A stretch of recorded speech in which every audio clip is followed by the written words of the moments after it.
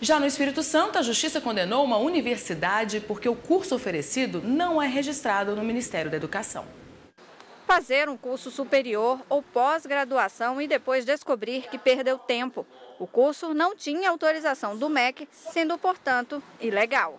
Um estudante da graduação de História no Espírito Santo não conseguiu obter o diploma porque não era reconhecida pelo MEC. Ele teve que fazer um outro curso para conseguir o título e ascensão profissional. E por isso o Tribunal de Justiça do Estado entendeu que o estudante tem direito à indenização. O tribunal confirmou a sentença de primeira instância e determinou que a universidade deve pagar o valor de quase 7 mil reais por danos morais e materiais ao aluno. De acordo com a decisão, o estudante sofreu abalo emocional ao tomar conhecimento de que não poderia receber o diploma como resultado do esforço dele durante o curso de aperfeiçoamento.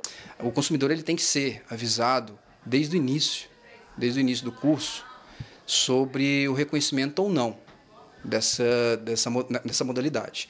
Se a instituição informou desde o início, a indenização fica mais difícil. Agora, aqueles casos em que o, o, aluno, na hora de formar, na hora de pegar o diploma, é pego de surpresa, que não sabia do reconhecimento, a, os tribunais vêm concedendo uma indenização por danos morais e imateriais. Segundo o Superior Tribunal de Justiça, a relação entre estudante e instituição de ensino é de consumidor.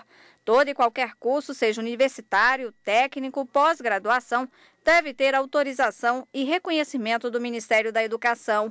Esse processo às vezes leva tempo e por isso é preciso que o aluno fique atento à classificação do curso no Ministério. Quando vai, um curso ele é aberto, ele, primeiro ele tem que ter autorização do MEC.